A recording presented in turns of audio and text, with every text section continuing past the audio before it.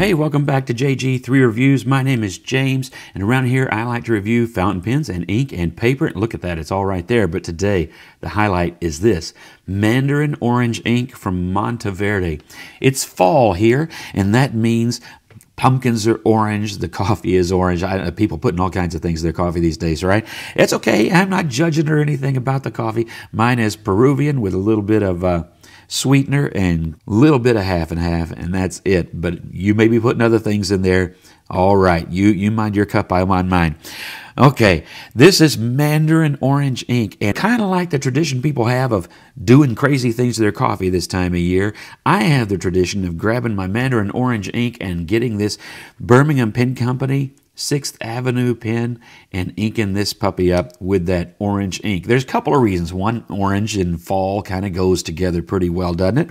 And the second is it's also football season, high school football season here in Texas. So, you know, a little bit of support for the San Angelo Central Bobcats going on here as well. So, being October and being football season and being that tradition has the ink out and in the pen, I thought I'd share this ink with you here on the channel. So I'll share with you writing samples on several kinds of paper and grades of paper. We'll look at dry times, we'll look at a water fastness test, and by the time this is all done, you'll know whether or not you do or don't like this Mandarin orange ink for your own writing. All right, we'll start as always with the Rhodia paper and the writing sample there. Again, the pen is this Birmingham Pen Company with a number six Nemosine nib, and it is a 0.8 millimeter stub. I really like the way this pen writes, and it suits this ink. Now, on the paper, this pen writes somewhat wet, so you can see that it is a very saturated orange, leaning a little bit to the red end of the orange spectrum. And on the Rhodia paper, you don't see a whole lot of color variation or anything like that. You do see just a slight shading. There's no feathering or anything like that. It's, it's well behaved on the paper. It doesn't go through the paper. It does what it's supposed to do, and that's to write and stay on that one side, and it does a good job of that. Just a very well saturated orange. You can see here again, that's a nice wet writing nib. And again, on the other side, no issues whatsoever. Just very well behaved on Rhodia paper. And here I also have it on Ayush paper. And again, writes a little bit differently. I, Yush paper takes the ink in much faster than Rhodia. So you see a little bit different in terms of the shading and saturation, and mainly that it's a, a narrower line width on this paper. Same is true of these other pens and inks I wrote with, just because it, it soaks up the ink very quickly, which is one of the qualities I like about Ayush paper. And again, here on the other side, I have a quote, and uh, you notice nothing came through and ruined that side at all. So very well behaved on the Ayush paper. Now looking at a very cheap paper, and I mean very cheap, a dollar for a pad. I think, if I remember right, it's 80 sheets at Dollar General, and this is just their little memo pad thing. Excellent paper, made in India, very well behaved, and it, it likes fountain pens. So for a dollar, you can get a great little note taking or just, you know, quick writing paper. Does a good job and it's nice and smooth. Here again, the Mandarin Orange behaved very well. No issues whatsoever, no feathering or anything like that. Again, this is a wet nib. And on the back, you can see very well behaved, no issues at all. Of course, you can see what I've written, but there's no bleed through. It really did very well on this paper. And uh, again, you know, the, the shading is minimal on most papers with this ink, but you can see just a little bit through here. Now, if shading is what you're looking for, here's some Tomoe River paper.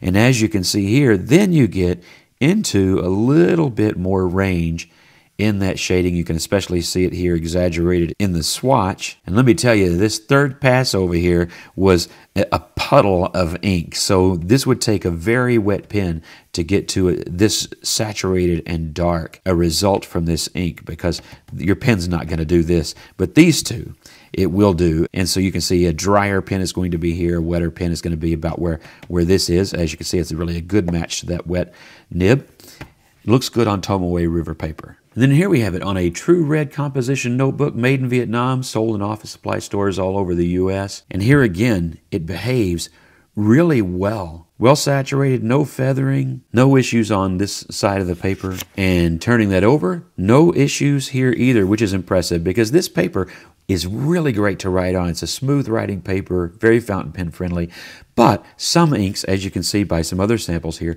do come through. But the Monteverde Mandarin Orange, not very well behaved on this inexpensive composition notebook as well. All right, now let's do an ink swatch. This will be our first pass. And as you can see, just a nice bright orange, that orange that you would expect from something called Mandarin Orange, right? Then we'll do our second pass.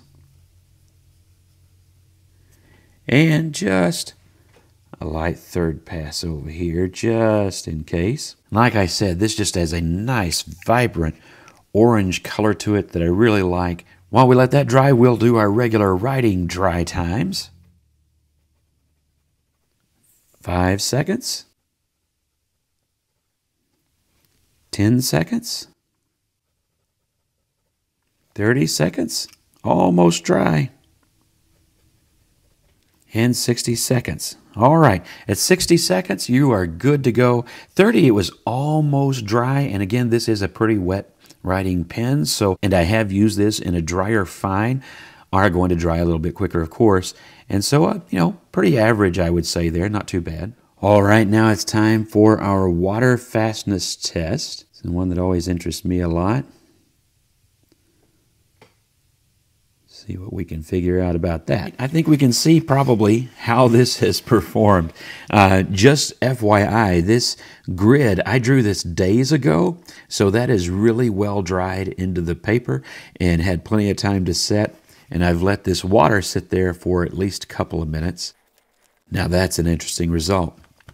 So I don't think I've ever had anything come off quite that uh, completely. Uh, you can see an outline of where the water is, and that orange ink is just mostly gone. Now, zooming in, I can technically read what was written there. There is a shadowing of text that is left behind. So you might be able, in some circumstances, to at least discern generally what used to be there. But this is definitely not a water fast ink. That swatch is completely dried, and you can see there kind of the shading and variation that is there. Again, it's minimal, but it is just a nice, vibrant orange, and you can coax a little bit of shading with a greater volume of ink. Now, I do want to show you the other side of this paper because this is where this ink really has some strength, and that is with all that vibrance and all the saturation, the amount of ink and the water test and everything else, nothing has come through this paper. So in terms of well behaved on most papers, this ink ranks pretty highly. I know some of you are waiting for this. This is the chromatography, and it, there's there's not a lot going on with the chromatography. This is orange ink, and of course that means it's made up of red and yellow primarily. But sometimes you expect to see a little bit more going on, but there's not. But one thing I do find interesting about the chromatography, this is where I wrote that original line. There is no hint of the red or of the yellow or of the combined orange at all.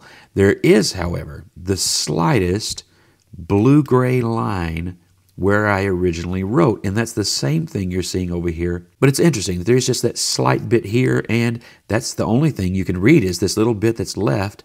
You can read that little bit of gray there as well. That's all that's left behind, and all of that orange, red, yellow is taken away. So in this case, the chromatography is a pretty accurate uh, foretelling of the, the water behavior of this ink in the water test, which does not always happen.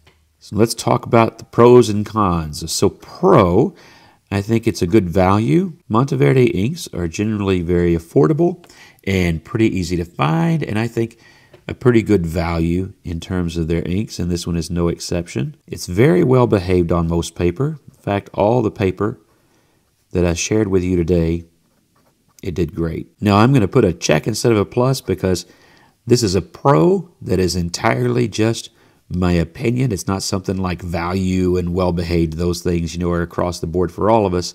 However, uh, this one is opinion, and I really like the shade and the saturation of this ink.